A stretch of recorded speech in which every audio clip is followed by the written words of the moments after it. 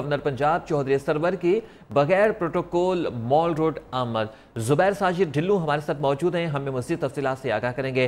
जुबैर बताइएगा मजीद तफसीत सभी देखें जो तब्दीली का नारा लगा, लगाने वाली हुकूमत ही पाकिस्तान तरीके इंसाफ जब वो हुकूमत में आई तो बाकी वो तब्दीली का सबूत दे दिया उन्होंने कि गवर्नर पंजाब चौधरी मोहम्मद सरवर जो है बगैर प्रोटोकॉल के एक लाहौर के जो कॉफ़ी शॉप है वहाँ पे गए।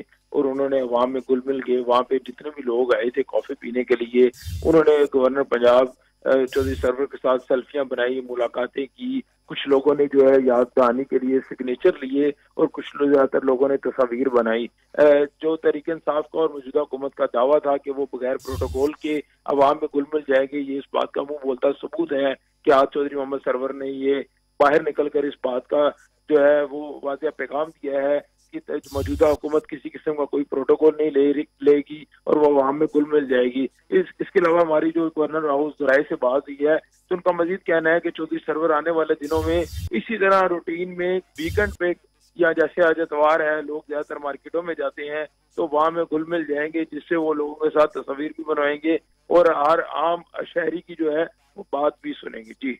जी, बहुत शुक्रिया आपका, जुबैर साजिद ढिल्लू। हमें तफसीला से आगाह करने का।